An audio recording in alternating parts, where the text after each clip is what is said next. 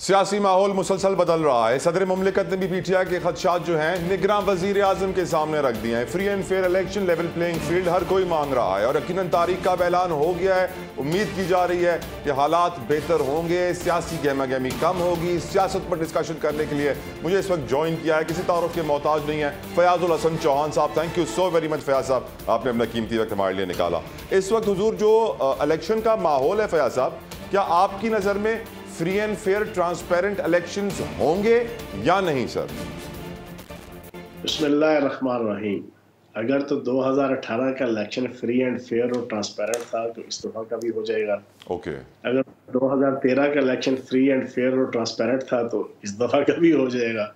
और अगर 2008 का फ्री एंड फेयर और ट्रांसपेरेंट था तला भाई तो इस दफ़ा का भी हो जाएगा इनशाला और सर अब, अब बड़ी अजीब सी बात है कि इस दफ़ा हर कोई जानता है कि नवाज़ शरीफ साहब पावर में आ रहे हैं। आपको ये बात अजीब नहीं लगती सर हर किसी का इतना कॉन्फिडेंस होता है कि नवाज़ शरीफ साहब ही प्राइम मिनिस्टर बनेंगे? नहीं मैं तो ये बात नहीं कहूँगा। ये तो फिर वक्त से पहले प्री पोल रिगिंग के मुतरद हो गई है। मैं तो समझता हूँ कि अभी अगले दो से तीन महीनों में पाकिस्तान की सियासत के पूरे से बहुत सा पानी अभी पहना है। लेकिन एक बात है कि नवाज़ शरीफ साहब क्योंकि 2016 के अंदर चेयरमैन तहरीक इंसाफ और पीटीआई की जो एक कंस्पायरेसी थी उस वक्त के चंद लोगों के साथ मिल के प्रोमिनेंट लोग थे जो अदालतों के और इस्टेब्लिशमेंट के जिस तरीके से नवाज़ शरीफ साहब को आउट किया गया था उनकी फैमिली को आउट किया गया था अब उसके काउंटर में वो अपने मामला सीधे करके वापस आए हैं तो ये उनकी हिकमत अमली है उनकी कामयाब हिकमत अमली है। ठीक। इससे सबक सीखना चाहिए कि आप रियासत के साथ और रियाती अदारों के साथ इस हद तक टकराव में ना जाए कि वापसी का रास्ता ना रहे। नवाज़ शरीफ साहब और जरदारी साहब की ये ये खूबी है कि वो अगर कहीं किसी मौके पर टकराते भी हैं तो वो एक हद तक टकरा के वो बाकी फिर उसके बाद माफ़ी तलाफ़ी करके भी और मिन्नत तरले करके भी और शिटर डिप्लोमेसी करके भी और टेबल टॉक करके भी निगोसिएशन करके भी अपनी चीज़ों को सार्ट आउट कर लेते हैं। लेकिन बदकिस्मती से चेयरमैन तहरीक इंसाफ ने चीज़ों को उस हद तक ले गए कि रियासती अदालती हर किस्म के अदारे को इस अंदाज से सबूताज किया कि अपनी ही पार्टी सारी सबूताज कर दी। अपना ही टाइटानिक डबो दिया। ठीक सर। तो नवाज़ शरीफ साहब ने अच्छे तरीके से अपनी सारे पत्ते खेले हैं। माशाल्लाह। उन्होंने बैक किया है उन्होंने चीज़ें सीखी हैं वो सी। और उसके मुताबिक अगर चलेंगे तो चीज़ें उनके लिए अच्छी होगी। अगर खुदा न खास्ता खुदा न खास्ता तो दोबारा उन्होंने वही पॉलिसीज़ अडॉप्ट करने की कोशिश की से हमेशा उन्होंने मार खाई है तो फिर उनको नुकसान उठाना पड़ेगा। फयाज साहब law and order situation election पर असरअंदाज होते हुए देख रहे हैं आप अमन अमान की बिगड़ती सूरत हाल जो है खासतौर पर जो गैर कानूनी गैर मुल्कियों को वापस भेजा गया उसके बाद। तलहा भाई वो चीफ जस्टिस साहब ने अपनी लास्ट हेयरिंग में कहा नहीं नहीं मैंने ये नहीं मैंने मैंने ये नहीं कहा इलेक्शन होंगे कि नहीं मैंने कहा असरअंदाज असरअंदाज क्या इम्पैक्ट आ सकता है सर बड़ा दिलचस्प तबसरा करने लगा पंजाबी च चीफ जस्टिस साहब ने क्या है कि हुन बम डिगे या बम? बिल्कुल। अब डिगे या बम? इलेक्शन होंगे इलेक्शन बिल्कुल। इलेक्शन होंगे भाई इलेक्शन होने चाहिए। इलेक्शन होने चाहिए। लेकिन मैं एक चीज़ आपको बता दूँ। एक मैं आपको एक चीज़ ब्रेक करने लगा हूँ। जो मैं हालात और वाकया देख रहा हूँ इंडिया के और इंडिया के आने वाले इलेक्शंस के और मोदी सरकार और बीजेपी की नेचर मुझे लगता है कि वर्ल्ड कप खत्म वर्ल्ड कप जैसे ही खत्म होगा, मोदी सरकार बीजेपी की सरकार, उसने अपनी गलीज जहनीत के ऊपर मबनी, कोई ना भी अटेम्प्ट फॉस फ्लैग ऑपरेशन करके उन्होंने करनी है अपनी इलेक्शन कैंपेन को सीधा करने के लिए।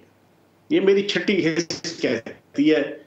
क्योंकि हमारा हमसाया है उसके करतूत आप भी जानते हैं और हम भी जानते हैं।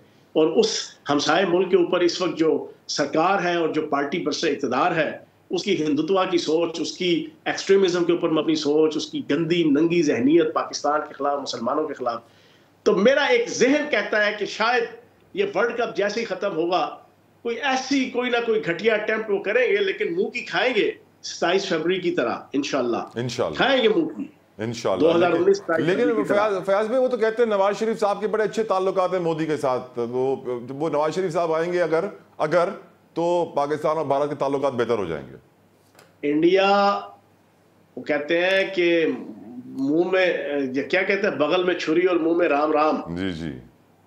और वो भी फिर मोदी सरकार वो भी नरेंद्र मोदी वो भी बीजेपी। नवाज़ शरीफ भी है सर। पता नहीं नवाज़ शरीफ साहब को कहाँ पे वो इतना वो चीज़ करेंगे? उनका अपना एक एजेंडा है फिर आलमी एक एजेंडा है। इसराइल के ज़रिए से फलस्तीनियों को और इंडिया के ज़रिए से कश्मीर और पाकिस्तान के हवाले से जो प्लान है ना इंटरनेशनल लेवल पे वो आप जानते हैं माशाल्लाह बड़े विजिलेंट साफी हैं। तो ये कोई चीज़ अल्लाह ना करे कि कोई ऐसी आ जाए तो बाकी आम गिरन या बम। इलेक्शन हो जाएँगे। होने हैं लेकिन लेट से सर कि अगर अल्लाह ना करे इस तरह दहशत गर्दी के वाकत हो रहे हैं। हम पहले भी माजी में देख चुके हैं कुछ इलेक्शन ऐसे होते थे जिनमें एएनपी को टारगेट किया जाता था। एएनपी कहते थे कि हमें जी जगह ही नहीं मिल रही है कि हम अपने वर्कर्स कन्वेंशन कर सके जल्द से जुलूस कर सके। अगर ऐसी सिचुएशन आपको लगता है कि पैदा हो सकती है या नहीं कोई चांस ही नहीं है। दलहा भाई तसल्ली से जवाब सुनिएगा। जिस वक्त से सुप्रीम कोर्ट का फैसला आया है कि सिविलियन का ट्रायल मिलिट्री कोर्ट में नहीं होगा उस वक्त से पाकिस्तान में हर रोज दो तीन चार जनाब दहशत गर्दी के वाकत शुरू हो गए okay. वजह जनाब दहशत गर्दों को टी टीटीपी को हौसला मिल गया है कि हमारे केसेस तो मिलिट्री कोर्ट में चलेंगे ही नहीं। और सिविल कोर्ट सिविल कोर्ट में जितना सा है पाकिस्तान की हिस्ट्री में आज तक कभी सिविल कोर्ट में से लेके सेशन सेशन से हाई कोर्ट हाई कोर्ट से सुप्रीम कोर्ट किसी दहशतगर्द को सजा नहीं हुई।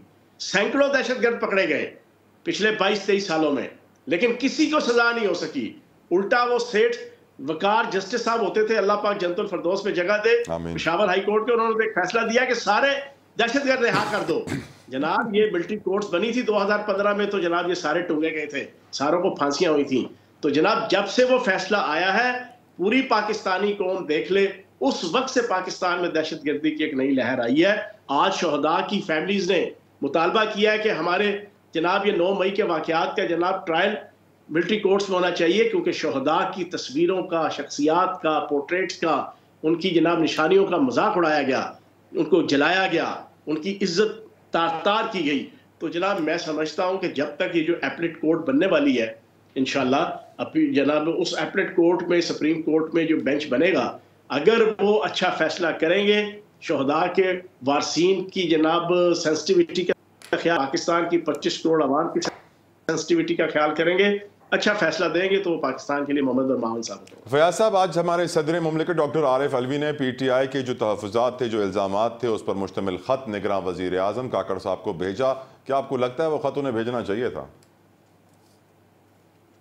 काश सदर आरिफ अलवी साहब ने अप्रैल 2022 से लेके मई 2023 तक और फिर मई 2023 से लेके 5 अगस्त 2023 तक चेयरमैन तहरीक इंसाफ को और उसकी लीडरशिप को भी ऐसे कई ख़त लिखे होते हैं कि खुदा का वास्ता बाज आ जाओ, रियासत को दाव पे मत लगाओ, रियासती अदारों को दाव पे मत लगाओ, फौज को दाव पे मत लगाओ, सिक्योरिटी एजेंसी आईएसआई को दाव पे मत लगाओ, अदालतों को दाव पे मत लगाओ, जजेस की जनाब और चीफ जस्टिस जितने हैं, उनकी इज़्ज़त को तार तार मत करो। जस्टिस दिलावर से लेके जस्टिस आमिर फारूक तक इनकी इज्जतों को और इनके खानदानों की इज्जतों को तार तार मत करो।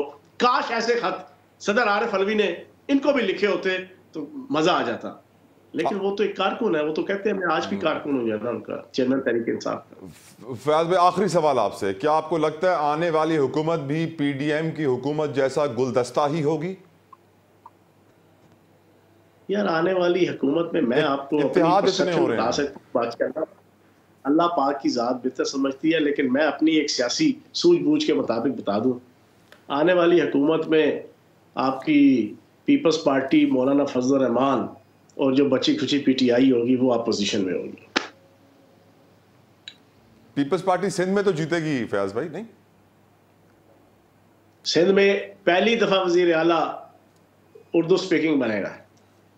सिंध में पहली मरतबा वज़ीर आला उर्दू स्पीकिंग बनेगा। बहुत बहुत शुक्रिया। फयाजुल हसन चौहान साहब हमारे साथ मौजूद थे। बड़े अहम इंकशाफात उन्होंने कर दिए हैं कि जे यू आई फे के मौलाना फजलरहमान साहब, पाकिस्तान पीपल्स पार्टी आसिफ अली जरदारी बिलावल भुट्टो जरदारी साहब अपोजिशन में होंगे पावर में नहीं होंगे। बहुत बड़ी स्टेटमेंट ब्रेक लीजिए।